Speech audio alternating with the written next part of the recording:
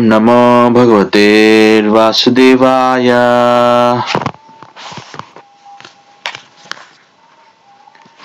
ॐ नमो भगवते वासुदेवाय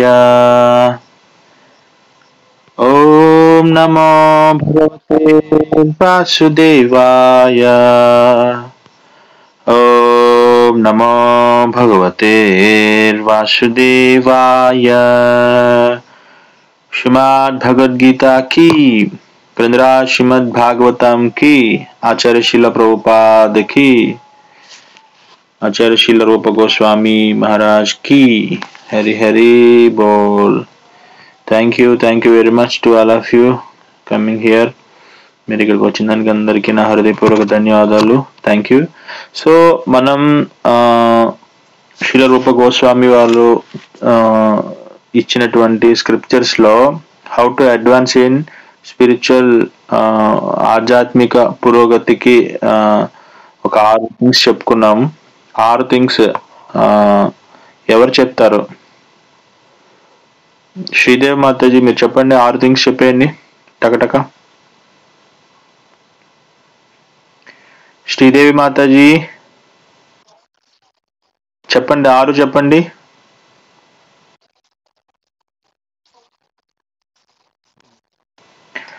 స్థైర్య ఆ, ఓర్పు. అంటే ఈ కూడా చెప్పాను కదా.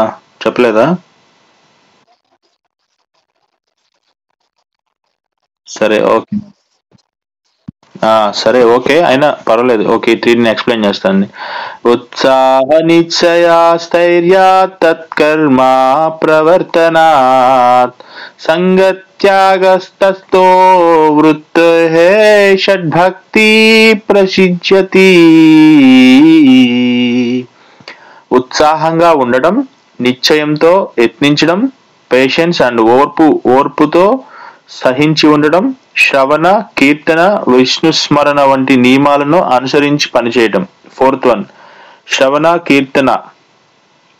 శ్రవణ కీర్తన విష్ణు స్మరణ నియమాలను అనుసరించి పనిచేయటం.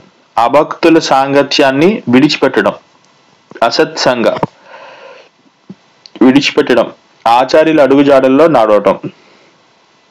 ఈ సిక్స్ థింగ్స్ సో మనం ఆల్రెడీ ఉత్సాహం గురించి డిస్కస్ చేసుకున్నాం. ఎలా యత్నించాలి ఎలా దృఢ సంకల్పాలు పెట్టుకున్నాలో చెప్పుకున్నాం. అండ్ హౌ టు పేషెన్స్ ఎట్లా ఎంత పేషెన్స్తో ఉండాలి భక్తి జీవితంలో అని డిస్కస్ చేసుకున్నాం.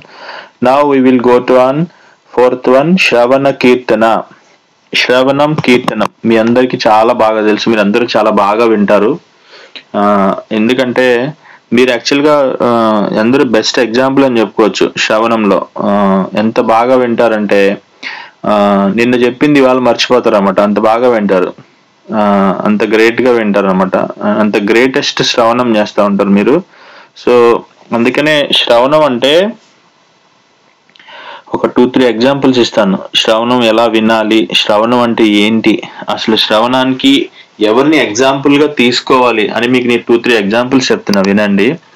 శీల ప్రోపాద్ భక్తి సిద్ధాంత సరస్వతి మహారాజ్ దగ్గర అంతమంది లార్జ్ స్కేల్ క్లాస్ జరుగుతూ ఉంటుంది. అయిపోయిన తర్వాత శీల ప్రోపాద్ని పిలుస్తారు. శీల ప్రోపాద్కి that time of age even thirty five years ఎంత ఉంటాయి? ముప్పై ఐదు ఏళ్ళు ఎంత ఉంటాయి? అంటే ఇచ్చిమించిన ఏజ్ అప్పుడు శిలప్రభా చెప్తారు మీరు చాలా మీ యొక్క ఇంగ్లీష్ ఫ్లూయెన్స్ చాలా బాగుంది. మీరు ఎందుకు పాశ్చాత్య దేశాలు వెళ్ళి ప్రచారం కృష్ణ చైతన్యాన్ని ప్రచారం చేయకూడదు? అని అడిగారు. అక్కడికి వెళ్ళి ఎందుకు ప్రచారం చేయకూడదు? అని అడిగితే ఆ, ఇది మీ మీ యొక్క ఆదేశంగా నన్ను తీసుకోమంటారా? అని శిల అని అడిగారు. అంటే ఎస్ మీరు అలా చేస్తే మీరు హ్యాపీగా ఫీల్ అవుతారా? అని అన్నారు. అంతే. ఇమ్మీడియట్గా ఆ శ్రవణ ఎ- ఎట్లయితే ఇంద్రియా ఇంద్రియాలతో విన్నటువంటి అంటే శ్రవణ అంటే ఇంద్రియాల్లో చెవులు అనేది ఒక ఇంద్రియం అన్నమాట. దాని నుంచి ఇమ్మీడియట్గా తన అంతరంగ అంతరంగాల్లోకి ఆ వర్డ్స్ని గురువు దగ్గర నుంచి తీసుకున్నటువంటి ఆదేశాలని తన తన హార్ట్లో మేనిఫెస్ట్ చేసుకున్నారు శిల ప్రోపాత్ మేనిఫెస్ట్ చేసుకుని ఆ దానికోసం ఎలా చేస్తే మా ఆచార్య హ్యాపీగా ఫీల్ అవుతారు అని ఎవ్రీ డే హీస్ మెడిటేటింగ్ అంటే ప్రతిరోజు దాని గురించి ధ్యానం చేశారు. నిధిధ్యాస చేశారు ఆయన. నిధిధ్యాస చేశారు. ఒక చోట కూర్చుని దానికోసం ఏం అవసరమో అవన్నీ పొందుపరుచుకుని అంతే ఇమ్మీడియట్గా తను ఎన్నో ట్రయల్స్ చేశారు తన గురువు యొక్క ఆదేశాలని నిర్వర్తించాలి అని ఆ అది శ్రవణం అంటే. శ్రవణం అంటే ఏంటంటే దిస్ ఈజ్ ద పర్ఫెక్ట్ శ్రవణం. శ్రవణం అంటే చాలా మంది ఏమనుకుంటారంటే హరే కృష్ణ అంటే ఆ పలకడం కాదనమాట. చాలా మంది ఏమనుకుంటారంటే శ్రవణం అంటే వినటాన్ని శ్రవణం అనుకుంటారు. ఒక భక్తుడి దృష్టిలో శ్రవణం అంటే ఏంటంటే తన యొక్క ఆచార్యాన్ని ముఖపద్మ నుంచి ఏదైతే తన యొక్క మెసేజ్ వచ్చిందో తన డిసైబుల్కి ఇమ్మీడియట్గా దాన్ని ఆచరించడం అనమాట అది శ్రవణం అంటే దాన్ని పెర్ఫెక్ట్ శ్రవణం అంటారు. అండ్ కీర్తనం తన గురు తన గురువుని గుర్తు తెచ్చుకుని every time every second every minute తన కీర్తించేది కృష్ణ సంతృప్తి కోసం. కానీ తన గురువు ఇలా కీర్తించడం వల్ల నేను ఇలా కీర్తించడం వల్ల తన గురువుని గుర్తు తెచ్చుకుని కృష్ణుని ప్రీష్ చేయాలని భావనలతో ఆ కీర్తించేటువంటి విధానాన్ని కీర్తనం అంటారు. ఇది రియలిస్ట్ శ్రవణం రియలిస్ట్ కీర్తనం. అండ్ అండ్ శీల రూప గోస్వామి చైతన్య మహాప్రభుని ఎప్పుడైతే ఇంటరాక్ట్ అయ్యారో ఎప్పుడైతే ఇంటరాక్ట్ అయ్యారో ఆయన భౌతికమైన విషయాల పట్ల అన్నిటి పట్ల ఆసక్తి కోల్పోయారు అనాసక్తికి వచ్చేసారు. అందుకే చైతన్య మహాప్రభు దగ్గర నుంచి ఏదైతే ఆదేశాలు వచ్చినాయి ఇమ్మీడియట్గా శీల రూప శీల రూప గోస్వామి ఇమ్మీడియట్గా దాన్ని అప్లై చేశారు. అందుకే వాళ్ళు గోస్వామిస్ అయ్యారనమాట ఎప్పుడైతే మనం రియలిస్ట్ శ్రవణం చేస్తామో గోస్వామి ఇంద్రియాలను కంట్రోల్ చేయడం అన్నమాట అంటే తన గురువు దగ్గర నుంచి పొందినటువంటి ఆదేశాలని తన హార్ట్లో మేనిఫెస్ట్ చేసుకుని హౌ టు ప్రీస్ ఎలా కృష్ణ సంతృప్తి పరచాలి. అంటే అట్లాంటి ప్రాపర్ శ్రవణం మనం ఎప్పుడైతే చేస్తున్నామో అప్పుడు ఆ రియలిస్ట్ శ్రవణాన్ని క్లియర్ అయినట్టు అనమాట మన హార్ట్లో. అట్లాంటి స్థితిలో ఎవరైతే శ్రవణం చేస్తారో ఈ point is very most important point నేను దీనికోసం చాలాసేపు వెతికాను. అట్లా రియలిస్ట్ శ్రవణం ఎవరైతే చేస్తారో మళ్ళీ చెప్తున్నాను దాన్ని సత్వ ఆ, రజస్తమో గుణాలు అట్లాంటి సత్వ గుణంలో ఉండేటువంటి వ్యక్తిని రజస్తమో గుణాలు ఎప్పటికీ షేక్ చేయలేవంట. ఇది కొంచెం ఇది కొంచెం డీపెస్ట్గా ఉంటది. పాయింట్ బాగా అర్థం చేసుకోండి. యాక్చువల్గా ప్రకృతిలో ఉండేటువంటి త్రిగుణాస్ సత్వ రజ స్తమో గుణాలు మూడు ఎప్పుడు ఫ్లెక్షేట్ అవుతూ ఉంటాయి అని చెప్పా మీకు. కానీ తన గురువు ఇచ్చినటువంటి ఆదేశాలు అంటే మీకు ఇందా చెప్తున్నాను కదా ఝాన్సీ మాతాజీ చాలా ఉత్సాహంగా ఉంటారు పావని మాతాజీ చాలా పేషెన్స్ ఉంటారంటే ఆ ఈ చాలా పేషెన్స్ అనేది తమో గుణంలో ఉండొచ్చు చాలా ఉత్సాహం అనేది రజో గుణంలో ఉండొచ్చు. కానీ ఎప్పుడైతే తన తన యొక్క గురువు ఆదేశాలని తన హార్ట్లో మేనిఫెస్ట్ చేసుకుని తన యాక్షన్స్ పెట్టినప్పుడు అప్పుడు వాళ్ళ సత్వగుణంలో ఉన్నట్టు. అట్లాంటి సత్వగుణం యొక్క క్వాలిటీ ఎలా ఉంటుంది అంటే యాక్చువల్గా సత్వ త- గుణాలు ఎప్పుడు ఫ్లెక్చుయేట్ అవుతుంది కాసేపు తమో గుణ కాసేపు రజోగుణ కాసేపు సత్వగుణం ఉంటది. కానీ కానీ ఎప్పుడైతే తన ఆచార్యుల పట్ల తనకు ఉండేటువంటి ఆ డెడికేషన్ ఆ సీరియస్నెస్ ఆ హానెస్టీ ఆ శ్రవణం యొక్క క్వాలిటీని ఎలా పెంచుతుందంటే సత్వగుణంలో ఉండేటువంటి ఆ క్వాలిటీ రజస్తమో గుణాలు ఎప్పటికీ షేక్ చేయలేవంట అలాంటి సత్వగుణాన్ని. కానీ సత్వ తమో రజోగుణాలు ఎప్పుడు ఫ్లెక్స్ అంటే కాసేపు సత్వ కాసేపు రజోగుణం ఉంటుంది. కానీ గురువు ఆదేశాలను ఎప్పుడైతే పెట్టుకుని హార్ట్ మీద పెట్టుకుని మోసుకు వెళ్తూ ఉంటావో అట్లాంటి విశుద్ధ సత్వగుణం కాదు. సత్వగుణాన్ని ఎప్పుడు రజస్తమో గుణాలు ఎప్పుడు కిందకి లాగమన్నమాట అంటే అది క్వాలిటీ సత్వగుణంగా ఏర్పడుతుందంట. నిజంగా చెప్తున్నారు శిల్రూప Goswami teachings very powerful teachings. అందుకే అట్లాంటి శ్రవణం ఎప్పుడైతే మనం చాలా హిమ్మిల్ హంబుల్తో తీసుకుంటామో హ్యూమిలిటీతో తీసుకుంటామో శ్రవణాన్ని అది క్వాలిటీగా ఉంటుంది అనమాట లేకపోతే అదొక హీరింగ్ చాంటింగ్ ఎలా ఉంటుందంటే జస్ట్ కేవలం మీరు ఏదో ప్రోపాద భక్సిదాన్ సరస్వతి మహారాజే కాదు. ఈవెన్ ఈవెన్ మీకు ఇంకా చాలా ఎగ్జాంపుల్స్ చెప్పచ్చు. మీరు రోజు చాంటింగ్ చేస్తున్నాం ప్రభు మాకేమీ result రావట్లేదంటే because this is a reason because this is the reason Hare Krishna Hare Krishna Krishna Krishna Hare Hare Hare Ram Hare Ram Ram Ram నా నా గుణాస్ ఏమి డిస్ట్రాయ్ అవ్వట్లేదు అంటే because this is the reason ఎందుకు destroy అవ్వట్లేదు reason ఏంటి? ఆ శ్రవణము క్వాలిటీ శ్రవణం లేదు. అర్థమవుతుందా మీకు? ఒక్క రౌండ్ జపం చేస్తున్నా ఒక్కసారి కృష్ణుని పిలుస్తున్నా అరే పలుకుతున్నారు. కృష్ణుని పలుకుతున్నారు కానీ మనం ఇగ్నోర్ చేస్తున్నాం కృష్ణుణ్ణి. అట్లాంటి శ్రవణం ఎందుకు ఎఫెక్ట్ చూపించట్లేదు? ఎందుకు మనకు మార్పు రావట్లేదు? ఇంకా ఎందుకు సీరియస్నెస్ రావట్లేదు? ఇంకెందుకు ఆచార్యులు ముఖ పద్మాల పట్ల ఆయన ఇచ్చినటువంటి ఆదేశాల పట్ల ఆయన ప్రీష్ చేయాలనే భావనలు ఎందుకు కలగట్లేదు? ఎందుకు ఇంకా జనసంఘలోనే ఉండాలనిపిస్తుంది? అభక్తుల సాంగత్యాన్ని ఎందుకు ఇంకా కోరుకో కోరుకోవాలనిపిస్తుంది? అభక్తుల సాంగత్యంలో ఎందుకు ఉంటున్నావు? Because if you are not hearing in properly pure hearing లేదు. పవిత్రమైన శ్రవణం లేదు.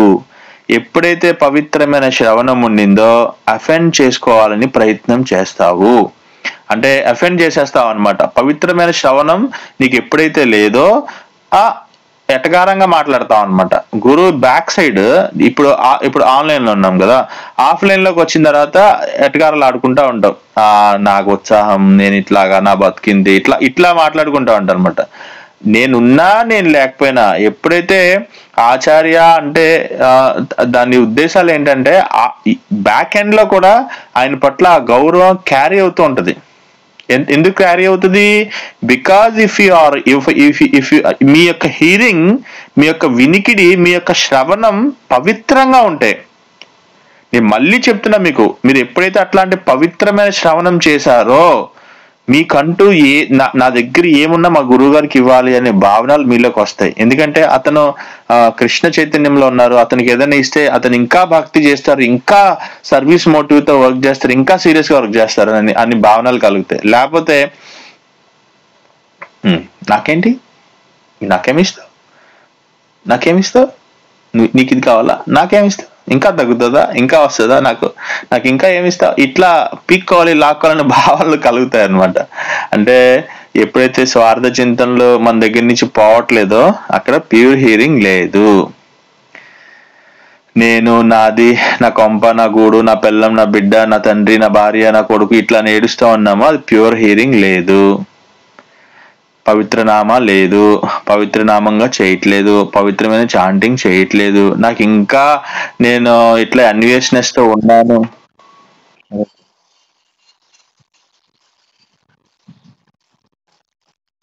సులోచన మాతాజీ అన్మ్యూట్ చేసుకోండి.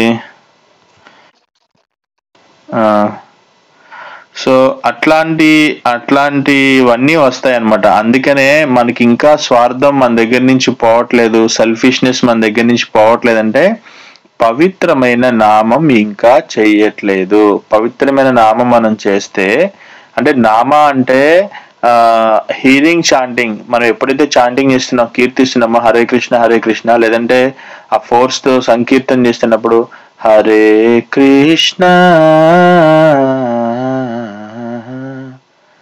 హరే కృష్ణ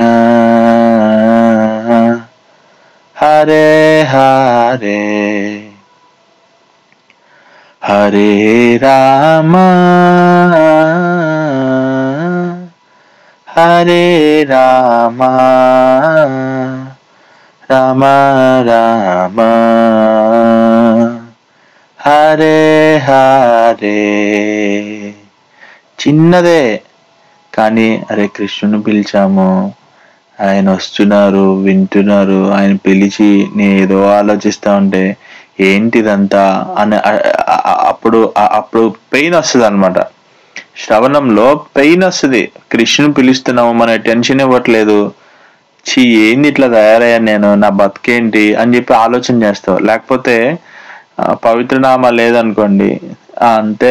నేను ఊరికే చాంటింగ్ చేస్తా గాల్లో. హరే కృష్ణ, హరే కృష్ణ, హరే రామ, పదహారు రౌండ్లు అయిపోతాయి కానీ మార్పు రాదు వినయం రాదు ఎన్ని వందల సంవత్సరాలు బతికినా కానీ ఏయ్ ఏ నువ్వు ఇట్లా ఇట్లా మాట్లాడుతూ ఉంటాడు అసలు ఒక భక్తుడు చాంటింగ్ చేస్తే అతని ప్రవర్తన ఎంత చేంజ్ అవుతుందో చెప్పనా మీకు చెప్పనా ఎంత చేంజ్ అవుద్దో చెప్పనా చూపించిన మీకు ఆ భక్తుడు ప్యూర్ చాంటింగ్ చేస్తే ప్యూర్ హీరింగ్ చేస్తే అతనిలో ఎంత మార్పు వస్తుందంటే ప్రహ్లాదుడిలాగా ఉంటారనమాట హిరణ్యకశిప లాంటి రాక్షసులు ఎన్ని కష్టాలు పెట్టినా కానీ ఓం నమో నారాయణాయ. నిన్ను కాల్ చేస్తా నువ్వు అట్లా అనకరా అన్నా కానీ తండ్రి గారు మీకు అట్లా హ్యాపీగా ఉంటుందంటే ఆ పనే చేయండి తండ్రి గారు. ఓం నమో నారాయణాయ. అరే వీడిని కొండ మంచి దోసేయండిరా భక్తులకి ఆదేశాలు ఇస్తారు హిరణ్య కసిప తండ్రి గారు మీకు హ్యాపీగా ఉంటుందా? సరే తండ్రి గారు ఓం నమో నారాయణాయ అంటారు. ప్రహ్లాద్ మహారాజ్. ఎందుకు? ఎందుకు? అతనికి ఎందుకు భయం ఉండట్లేదు? బికాస్ బికాస్ అతని అతని hearing capacity is very highest capacity. నాకు నా తండ్రి నా నారాయణ ఉన్నారు. ఆ విష్ణు స్మరణ ఎలా ఉండింది అంటే ఆయన ఉన్నారు నేను పిలిస్తే ఆయన పలుకుతారు కదా. నేను దేనికోసం ఇదంతా భయపడాలి అని ఆయన భాగవతోత్తములు ప్రహ్లాద్ మహారాజ్ అంటే భాగవతోత్తములు ఆయన. అట్లాంటి ప్యూర్ హియరింగ్ మనం ఎప్పుడైతే చేస్తామో పవిత్రమైన నామ శుద్ధనామ ఎప్పుడైతే చేస్తామో మనకి అట్లాంటి ఫెయిత్ క్రియేట్ అవుతుంది. మీరు ఎప్పుడు అనుకోవద్దు నేను అంత ప్రహ్లాద్ మహారాజులా అంత గొప్పవాడిని కాదు. లేదు మన ఇన్స్పిరేషన్గా తీసుకోవాల్సినవి ఇవన్నీ. ఎందుకు కాకూడదు? గొప్పగా ఎందుకు ఉండకూడదు? మన మన- మన ఫాదర్స్ మన మన ఫోర్ ఫాదర్స్ మన మన ఆచార్యులు చాలా గొప్ప వాళ్ళండి అలాంటి అనునయులు అట్లాంటి అనునయులు మనం. వాళ్ళ యొక్క ఫాలోవర్స్ మనం. మనం ఎందుకు అంత స్ట్రాంగ్గా వాళ్ళ వాళ్ళ ఇన్స్పిరేషన్స్ తీసుకున్న వాళ్ళం మనం? సో మనం ఎందుకు స్ట్రాంగ్గా ఉండకూడదు? అంటే బికాస్ రీజన్స్ ఏంటంటే మనకి అంత ప్యూర్ నామా చేయలేక కాదు. చేయగలుగుతారు. కానీ ఆ, గ్రీన్ లైన్ దాటి రావన్నమాట.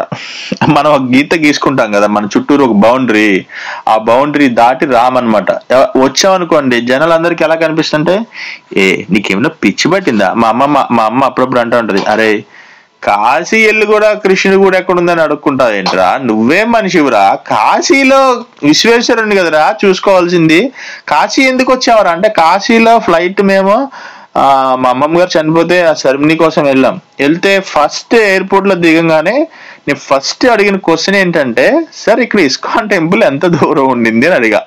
నా మొట్టమొదటి క్వశ్చన్ కాశీలో రీచ్ అయిన తర్వాత వారణాసిలో రీచ్ అయిన తర్వాత నా ఫస్ట్ క్వశ్చన్ అడిగా ట్రావెల్స్ వాళ్ళని. అక్కడ లోకల్ ఉండే వాళ్ళని.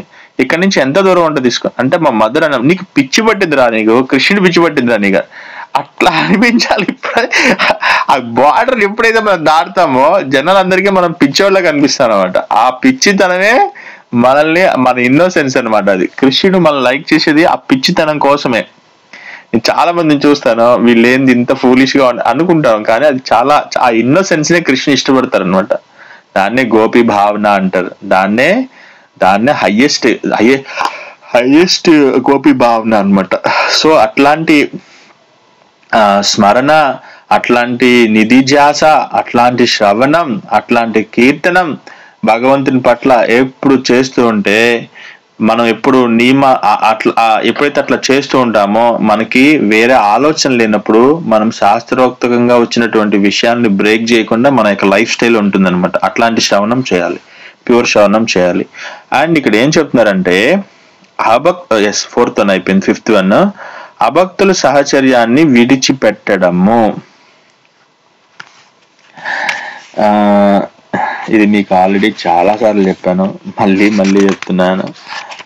మళ్ళీ మళ్ళీ మళ్ళీ మళ్ళీ మళ్ళీ చెప్పాలంటే నా వల్ల కావట్లేదు బట్ అయినా నేను ఐ కెన్ ఎక్స్ప్లెయిన్ ఇక్కడ ఏం చెప్తున్నారంటే భక్తుల సాంగత్యంలో జీవి జీవిస్తే అభక్తులతో సాంగత్యానికి అవకాశం ఉండదు.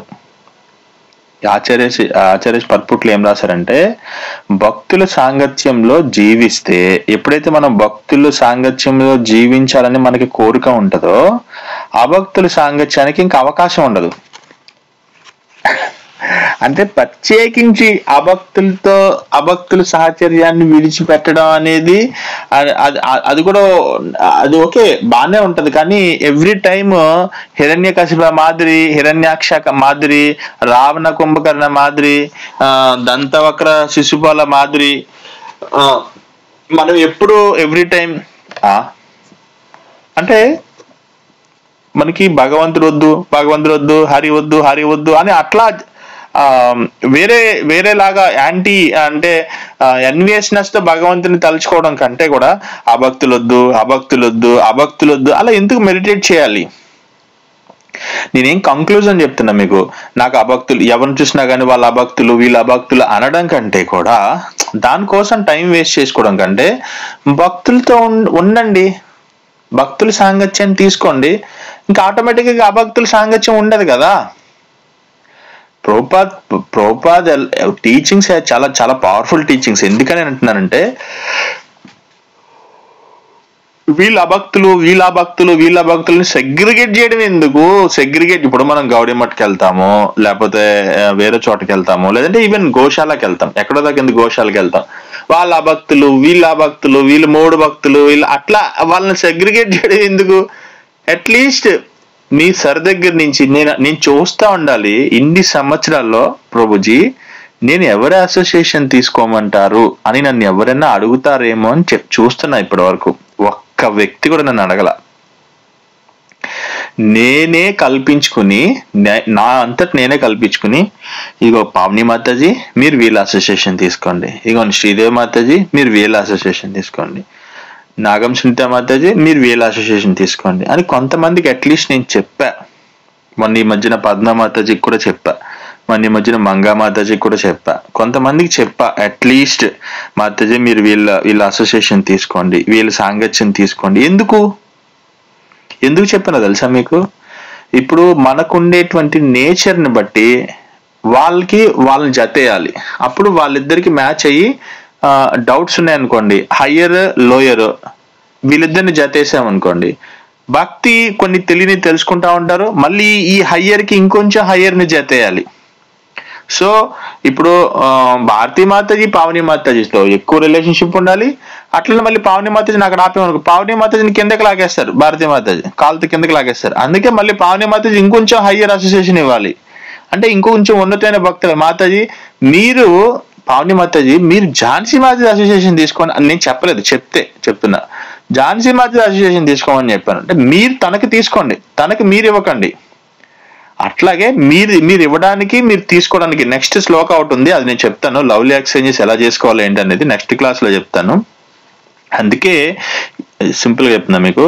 అభక్తుల సాహచర్యాన్ని విడిచిపెట్టాలని మెడిటేట్ చేసడం కంటే భక్తుల సాంగత్యంలో ఉండాలని మెడిటేట్ చేయడం కరెక్ట్ దానివల్ల తెలియకుండానే ఆ భక్తులకు దూరంగా ఉంటాం అనమాట తెలియకుండానే ఆ భక్తులకు దూరంగా ఉంటాం. కావాలని వాళ్ళని అవాయిడ్ చేయడం కంటే ఆల్మోస్ట్ మన టైంలో ఇప్పుడు మనకు ఉండే time twenty four hours twelve hours నిద్ర సంథింగ్ సంథింగ్ ఆ ట్వెల్వ్ అవర్స్లో సిక్స్ అవర్స్ టూ అవర్స్ జపం ఇవన్నీ పోతాయి. కొంతసేపు వర్కింగ్ ఫర్ లైఫ్ వర్కింగ్ ఉంటది. సో ఇంకొక మాక్సిమం ఉంటే ఒక మనిషి two three hours free time ఉంటుంది. టూ అవర్స్ మ్యాక్సిమం ఆ టూ అవర్స్ ఎవరు అసోసియేషన్ తీసుకోవాలి? అని మెడిటేట్ చేయాలి. మా గురుగారిని అడగాలి ప్రభుజీ నే- నేను ఎవరి అసోసియేషన్ తీసుకోమంటారు? మాతజీ మీరు వీళ్ళతో మాట్లాడండి. ఓకే ప్రభుజీ. అంటే ఇంక మీ ఇంటి పక్కనే ఉన్నా కానీ వాళ్ళతో రెగ్యులర్గా మాట్లాడకూడదు. దానివల్ల మీకు నష్టమే వస్తుంది తప్ప వాళ్ళు భక్తులే. కానీ మీకుండేటువంటి మెచ్యూరిటీ లెవెల్ని బట్టి మీకు కొంచెం హయ్యర్ తీసుకోవాలి. మీరు ఈక్వల్ తీసుకున్నారు అనుకోండి మిమ్మల్ని మీరు కిందకి లాక్కుంటా ఉంటారు అనమాట మా ఇంటి పక్కనే కదా నాకు బాగుంటుంది నేను ఇక్కడే ఉంటాను నేను వెళ్తూ ఉంటాను నాకు ఏదైనా బాగుంటుంది అలా అనిపించకూడదు. గురువుని అడగాలి ఎవరి అసోసియేషన్ ఎవరు తీసుకోవాలి ఎవరిని ఎవరు తీసుకోవాలి ఎవరు ఎవరికి జత వేయాలి ఇది కూడా ఒక ప్రాసెస్ భక్తిలో. మన భక్తి అభివృద్ధికి ఎవరు అసోసియేషన్ తీసుకోవాలన్నది కూడా మా గురువు గారు నాకు చెప్పారనమాట నాకు ఒక ఆయన ఉండేవాళ్ళు. నాకు ఎంత ప్యాషన్ ఉండాలంటే నేను ఆల్రెడీ చెప్పాను ఒకసారి క్లాస్లో ఆయన అసలు ఎప్పుడు ఖాళీగా ఉండరు. నాకేం చెప్పారంటే మీరు ఆయన అసోసియేషన్ తీసుకోండి అని చెప్పారు. నేను ఎప్పుడు ఫ్రీగా ఉండని కాల్ చేద్దామన్నా ఆయన ఫోన్ లిఫ్ట్ చేసేవాళ్ళు కాదు. నాకు వన్ ఇయర్ పోయిన తర్వాత నేను చాలా బాధేసింది నాకు. ఛీ ఎందుకు ఇట్లా? ఈయనకి గురువు గారేమో ఆదేశాలు ఈయనకేమో అసోసియేషన్ తీసుకోమని. ఆయన బతుకున బతుకంతా అయితే ఎప్పుడు ఆయనకు ఫోన్ చేసినా ఆయన ఫోన్ ఎత్తారు. అట్లాంటి వ్యక్తి అసోసియేషన్ ఏముంటుంది ఆయనతో అసోసియేషన్ అంటే? ఉంది అసోసియేషన్ ఏముంది అంటే నా ప్యాషన్ కంట్రోల్ చేయాలి ఆయన. సో అందుకని ఏం చేశారు? అసలు ఫోనే ఎత్తని వ్యక్తికి నా అసోసియేషన్ ఇచ్చారు. రెస్పాండ్ అవని వ్యక్తికి అసోసియేషన్ ఇచ్చాం అనుకోండి. ఆ ప్యాషన్ ఆటోమేటిక్గా చచ్చిపోద్ది అనమాట ప్యాషన్ చచ్చిపోయి అతని గురించి ఆలోచించి ఆలోచించి ఏదైనా మాట్లాడదామంటే ఎలా ప్రభు ఏదైనా డౌట్స్ అడుగుదామంటే ఆయన ఫోన్ ఎత్తేవాళ్ళు కాదు. ఒకవేళ ఎత్తిన ఐ కాల్ యూ లెటర్ ప్రభుజీ సారీ ఐ మీన్ వర్క్ అనేవాళ్ళు. నేను ఇంకేం చేయాలి? ప్రభుజీ కంప్లైంట్ చేయలేను. సో అందుకని అట్లా ఒక వన్ ఇయర్ పోయిన తర్వాత ఆయన అడిగారు నీ ఫోన్ ఎప్పుడైనా ఎత్తారా? ఆయన అని అడిగారు. అడిగితే చెప్పాలా వద్దా? నిజం చెప్పాలా వద్దా? అంటే ఒక ఫోర్ టైమ్స్ ఎత్తుంటారు ప్రభు ఒక సంవత్సర కాలంలో అన్నా. సరే. ఇప్పుడు ఎలా ఉన్నారు మీరు? అని అన్నారు. ప్రభు చాలా బాగున్నాను ప్రభు. ఇంతకుముందు ఎలా ఉన్నారు అంటే అవే సూపర్ అన్న ప్రభు సూపర్ అన్న ఐఎమ్ ఎక్సలెంట్ అనేవాడిని. తర్వాత ఆయన వన్ ఇయర్ తర్వాత ఆయన అడిగితే ప్రభు ఓకే ప్రభు. ఇట్స్ ఓకే ప్రభు అన్న. ఆయనకి అర్థమైంది వెంటనే. నా ప్యాషన్ కంట్రోల్ అయిందని. సో నా I will start and Bhagavatam. మీరు భాగవతం మార్నింగ్ క్లాస్లో అటెండ్ అవ్వండి అన్నారు. Thank you very much Prabhuji అన్న. కానీ నేను ప్రతిసారి మెసేజ్ ఆయన ఐ కాల్ యూ లెటర్ అని మెసేజ్ పెట్టిన ప్రతిసారి ఆయన ప్రభుజీ సరే బాబు కాల్ చేశారు ఆయన ఇవాళ వంశీ కాల్ చేశారు. ఆయన ఫోన్ ఇట్లా పెట్టాను ప్రభు మెసేజ్ పెట్టాను ప్రభు సారీ ప్రభు అని ప్రతిసారి మెసేజ్ పెట్టారు. అంటే దాన్ని బట్టి నాకు అర్థమైంది మనకి తెలియకుండానే మన ఆచార్య మనల్ని మానిటర్ చేస్తారు తెలియకుండా అని ఒక విషయం అర్థమైంది నాకు. జస్ట్ హోల్డ్ అందరూ ఒక ఫైవ్ మినిట్స్ హోల్డ్లో ఉండండి ప్లీజ్ సార్ కాల్ చేస్తున్నారు.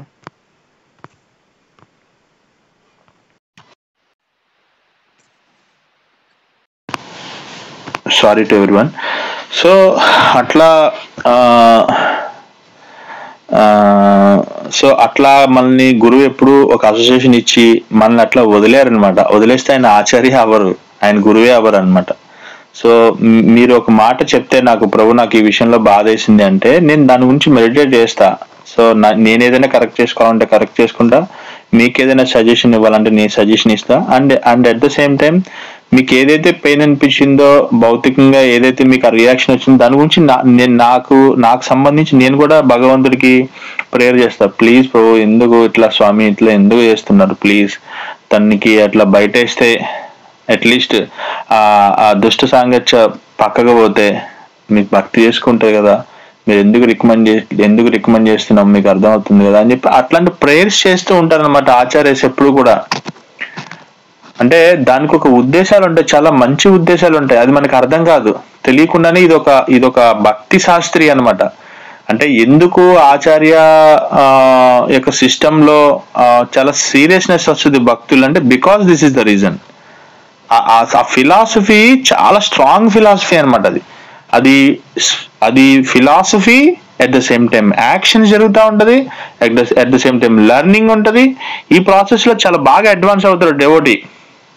ఇప్పుడు హీరింగ్ చాంటింగ్ ఒకటే కాదు యాక్షన్స్లో కూడా దాన్ని మానిటర్ చేయించుకుంటూ ఆన్సర్బుల్గా ఉండి తనకి అట్లా ఉంటే అది రెండు రెండు టూ టైప్స్ అటు నుంచి ఇటు నుంచి రెండు రెండు వైపుల నుంచి ఉన్న ఉందనుకోండి అకౌంటబిలిటీ అది చాలా అడ్వాన్స్మెంట్ని తీసుకొస్తుంది భక్తిలో మంచి పురోగతిని తీసుకొస్తుంది అనమాట this is fifth one and sixth one ఆచార్యులు అడుగుజాడలో నడవటం అంటే ఇది ఇది చాలా దీని గురించి ప్రత్యేకించి ఒక ఐదారు క్లాసులు చెప్పచ్చు. బట్ నేను సింపుల్గా చెప్తున్నా మీకు ఆచార్యులు అడుగుజాడలు ఏంటంటే ఎవ్రీ డే మంగళహారతికి అటెండ్ అవటం. And at the same time every day వాళ్ళు మనకి ఇచ్చినటువంటి కొన్ని ఫోర్ రెగ్యులేటివ్ ప్రిన్సిపల్స్ని ఫాలో చేస్తూ వాళ్ళ యొక్క కనుసన్నల్లో మనం జీవించడం. వాళ్ళ యొక్క ఆదేశాల మే ఆదేశాల మేరకు మనం భక్తియుక్త సాధన చేయటం మనం చేసింది వాళ్ళకి చెప్పడం వాళ్ళు చెప్పింది మనం చేయటం. అర్థమైంది మీకు? అందరికి అర్థమైంది ఒకసారి? అన్మ్యూట్ చేసుకుని చెప్పండి. ఏం ఏంటి? ఏం చెప్పాను? మనం చేసింది వాళ్ళకి చెప్పాలి వాళ్ళు చెప్పింది మనం చేయాలి. ఇది ఆచార్యుల ఆచార్యుల అడుగుజాడలో నడవడం అంటే మన ఆచార్యులు ఎంతో నైపుణ్యంతో దాన్ని ప్రతిక్షణం మానిటర్ చేసి మనల్ని కృష్ణ భక్తి భావనాయుత కర్మల్ని నింపుతారన్నమాట. మన యొక్క హార్ట్ నిండా నింపుతారు. సో అందుకనే మనం మనం మీకు ఎందుకు జపం ఎన్ని రౌండ్స్ అయిందో పెట్టమని ఎందుకనంటే మనం చేసింది గురువుకి చెప్పాలి. అని గురువు చెప్పింది మనం చేయాలి. ఇలా ఎప్పుడైతే చేస్తామో ఇలా ఎప్పుడైతే చేస్తామో ఆచార్యుల యొక్క అడుగుజాడల్లో మనం నడుస్తున్నాడు ఎందుకంటే మన ఆచార్య కూడా వాళ్ళ ఆచార్య యొక్క అడుగుజాడల్లో నడుస్తూ ఉంటారు. వాళ్ళ ఆచార్య వాళ్ళ ఆచార్య యొక్క అడుగుజాడలు నడుస్తూ ఉంటారు. శీలరూప గోస్వామి చైతన్య మహాప్రభు యొక్క అడుగుజాడలో నడిచారు. అట్లాగే మనం కూడా మన యొక్క ఆచార్యుల అడుగుజాడలో నడవాలంటే వాళ్ళ ఫుడ్ స్టెప్స్ని ఫాలో చేయాలంటే ఎలా చేస్తాం? ఎలా ఫాలో చేస్తారో ఇప్పుడు శీలరూప గోస్వామి ఉన్నారా? లేరు కదా? అదృశ్యమయ్యారు కదా? డిజపేర్ అయ్యారు కదా? శిల ప్రభుపాద్ ఉన్నారా? డిజపేర్ అయ్యారు కదా? మరి ఎలా మనం ఫుడ్ స్టెప్స్ని ఫాలో చేస్తాం? బికాజ్ ఇన్ శాస్త్ర because in classes because in శ్రవణ బికాజ్ బికాజ్ ఇంతే సింపుల్ అట్లా వాటి ఫుడ్ స్టెప్స్ని ఫాలో చేయాలంటే వాళ్ళ యొక్క ఆదేశాలు మనకి ఏదైతే శాస్త్రోక్తకంగా ఇచ్చారో వాటిని ఫాలో చేస్తూ రెగ్యులర్గా శ్రీమద్ భాగవతాన్ని వినడం కీర్తన చేయడం ఎవ్రీడే మంగళహారతికి అటెండ్ అవడం ప్రాతకాలంలో నిద్ర లేవడం తెల్లవారుజామునే నాలుగింటికే నిద్ర లేచి మంగళహారతిలో పాల్గొనడం ఏం సింపుల్ ఏం లేదు. మీరు అట్లాగే జపం చేస్తున్నారు కదా. ఎస్ పొద్దున్నే మంగళహారతి చిన్న హారతి ఇచ్చుకునేది ఎర్లీ మార్నింగ్ ఫోర్ థర్టీకి సింపుల్గా ఏదైనా భోగం అంటే కృష్ణుడు పెట్టుకునేది వెంటనే ఇమీడియట్ జపంలో కూర్చునేది. అంతే సింపుల్ భాగవతాన్ని ఒక శ్లోకం చదువుకోవడం కీర్తించడం నేర్చుకోవడం everyday morning or evening classes వినడం వాటి ఫుడ్ స్టెప్స్ని ఫాలో చేస్తున్నట్టే. భక్తి ఎలా అడ్వాన్స్ అవుతామంటే దిస్ ఈస్ ద రీజన్స్ ఇట్లా మనం ఎప్పుడైతే భక్తి యుక్తి సాధన చేస్తామో ఇమ్మీడియట్గా భక్తి యోగాలో మనం అడ్వాన్స్ అయిపోతాం అనమాట this is the last three principles so every one you can try it to follow this food steps ప్రయత్నం చేయండి అట్లీస్ట్ మనం ఎప్పుడైతే తెలుసుకుంటామో ప్రయత్నం చేయడానికి అవకాశం ఉంటుంది. తెలుసుకోవాలని ప్రయత్నం చేయలేదో. ఇంకెప్పటికీ తెలుసుకోకుండా ఉంటాం అనమాట this is the main course in Bhakti Shastri ఈ సిక్స్ ప్రిన్సిపల్స్ మనల్ని ఆధ్యాత్మిక పురోగతికి కృష్ణ చైతన్యానికి అభివృద్ధి చెందడానికి ఈ సిక్స్ ప్రిన్సిపల్స్ చాలా ఉపయోగపడతాయి. Thank you very much to all of you గ్రంథరా Srimad Bhagavatam కి ఆచార్యశిల కి జై ఎవరికైనా ఏమైనా డౌట్స్ ఉన్నాయా?